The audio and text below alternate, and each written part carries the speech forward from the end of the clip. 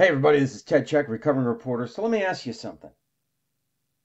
How is it that you can have a media outlet and it's owned entirely, owned and funded entirely by the U.S. government, and then have that entity uh, disseminate so called news here in the United States that is particularly one sided? How, how is that allowed to happen?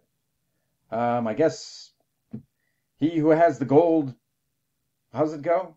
Wins. I guess if you're in, if you're the ones that are in power, then you can do whatever the hell you want with. Uh, you, you you've got your own media company, and I, I don't know that it's it's called Voice of America, VOA.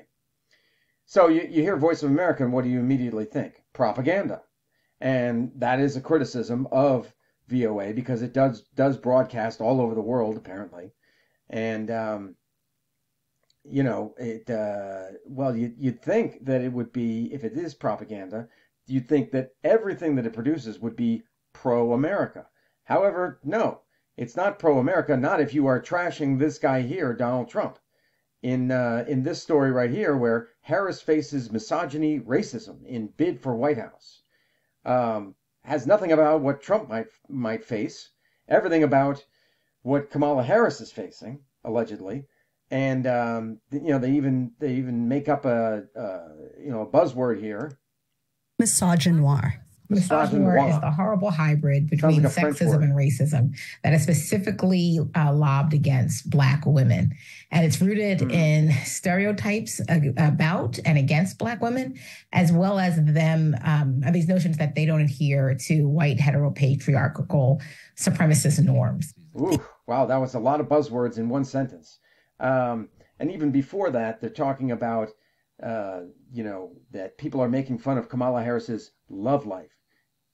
You you mean when she was in that relationship with uh, with the, the, the dude Willie Brown, um, and he was married to somebody else, and then he gave her a couple of jobs.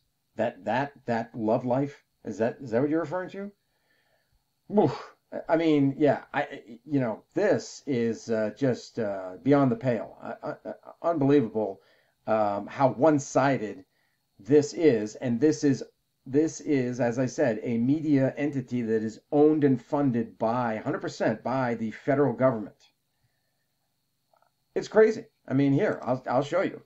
Um, people also ask. VOA is funded by the U.S. government through the U.S. Agency for Global Media.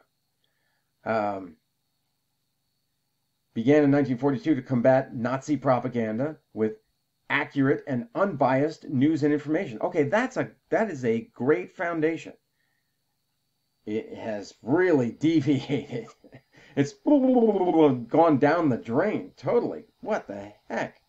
Um, but yeah, you know, here, here's here's more. So so it it talks about uh, it produces all this content in 48 languages, which it distributes to affiliate stations around the world. But it's not that hard to find here in the United States, and here it is in English, geared towards a United States audience. I, I just don't understand what is going on here. Um, so I would have to say, you know, we're going to talk about defunding. This is a candidate for defunding. Uh, it's not serving the, the, the purpose uh, that it was meant to serve. Um, it has really gone off the rails and been corrupted uh, by all sorts of various uh, woke ideology. And uh, that's really, it's disappointing. It's actually very disappointing. Um, I spent 25 years in the media, and to see something like this, um, you know, the, the, news is what I'm passionate about. Uh, that's why I wrote a book about it. And uh, this, this is just terrible. Um, so anyway, if somebody could explain this to me, I would appreciate it because I am just baffled and bewildered and befuddled by this. Um, how, how to make it make sense, please. Somebody help me out. Thank you.